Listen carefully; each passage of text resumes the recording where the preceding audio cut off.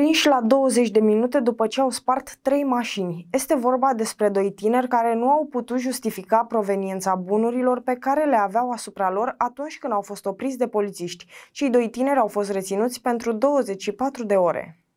Cei doi bărbați în vârstă de 18, respectiv 23 de ani, au fost prinși imediat după ce au spart trei autoturisme parcate pe raza municipiului Drobeta Turno Severin. Polițiștii de ordine publică i-au oprit pe cei doi bărbați după ce au observat că aceștia dețineau mai multe bunuri asupra lor. Neputând justifica proveniența lor, s-a constatat că de fapt bunurile erau furate. Polițiștii de investigații criminale au documentat activitatea infracțională a doi tineri de 18, respectiv 23 de ani, bănuiți de săvârșirea infracțiunii de fur calificat.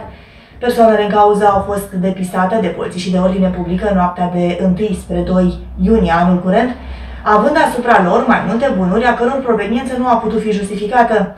În urma investigațiilor efectuate, polițiștii au stabilit că persoanele în cauză ar fi sustras din trei autoturisme parcate pe raza municipiului mai multe bunuri. Prejudiciul a fost recuperat în totalitate și restituit părților vătămate. În cauză a fost întocmit dosar penal sub aspectul săvârșirii infracțiunii de fur calificat, persoanele în cauză fiind reținute pe bază de ordonanță de reținere pentru 24 de ore, iar astăzi urmează a fi prezentate instanții de judecate cu propunerea de luarea unei măsuri preventive.